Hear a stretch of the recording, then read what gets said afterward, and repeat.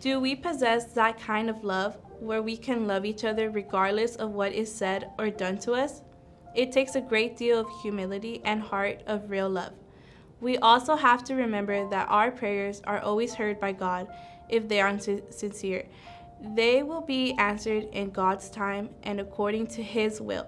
St. John Chrysostom said, Even if God does not immediately give us what we ask, even if many people try to put us off our prayers, let us still go on praying.